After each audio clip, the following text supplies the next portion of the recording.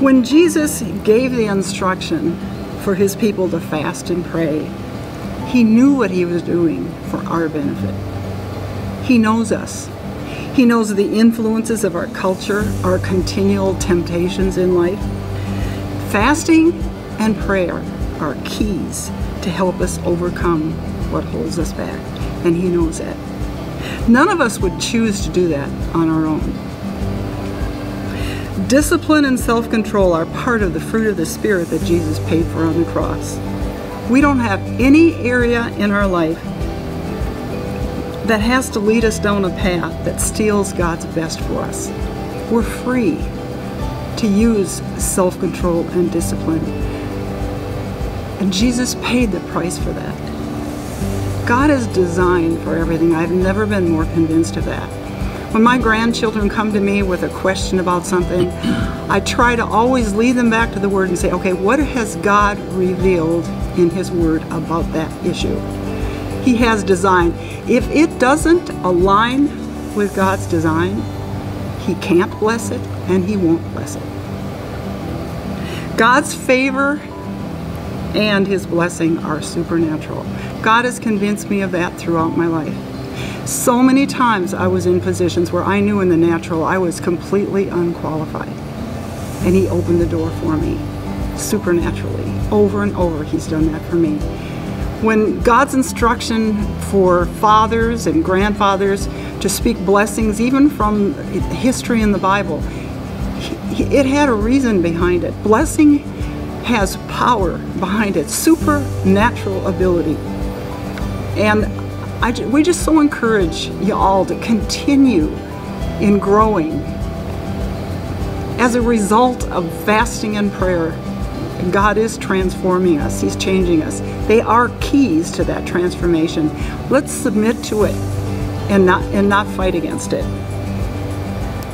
I don't believe there's anything that God uses more to reveal His glory than His people, than mankind. Jesus said in John 17, He said, I have given them your glory. He said that to the Father. And I really believe that God has deposited in every single human being a unique part of their story that will reveal something about God. I can't imagine anything that should make us feel more valuable than that.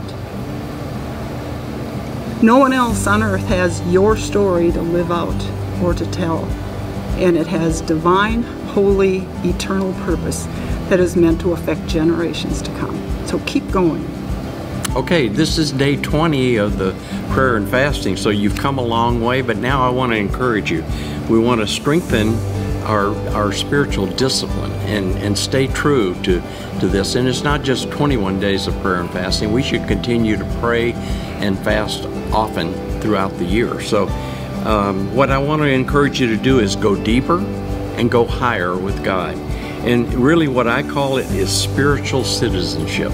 I think we need to be good spiritual citizens in taking care of, of the needs of the people that we're dealing with. So, there are several verses, uh, Proverbs 3 5 through 6. Trust in the Lord with all your heart, lean not on your own understanding. In all your ways, acknowledge Him, and He will direct your paths. That's a powerful promise. And so I, I just we just need to close with that. But let's pray.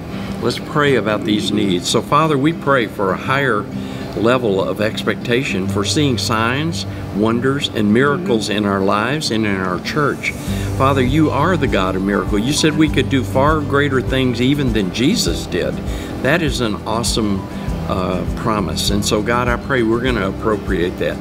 We want to believe that God has given us the desires of our heart, but not that we're trying to make our desires come to pass, but that He's given them to us. So He plants them in us, I believe. I believe that's what that verse means that God has planted desires in you that are yeah. godly desires, and those are the ones that can succeed. And the last thing I want to say as we pray is, um, We've got to change our thinking. I used to use communion or used to see communion as a ritual. I now see it a whole lot differently because we've been doing communion a lot. um, just Bev and I in our morning prayers.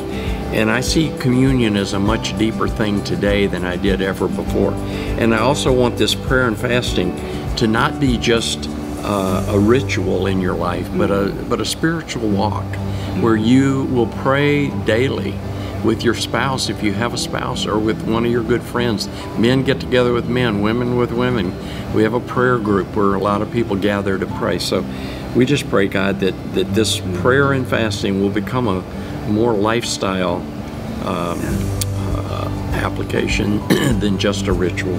So, God, we thank you for all you're doing. I just pray for everyone that's listening that they will take in what you're saying through us. In Jesus' name we pray. Amen. Amen.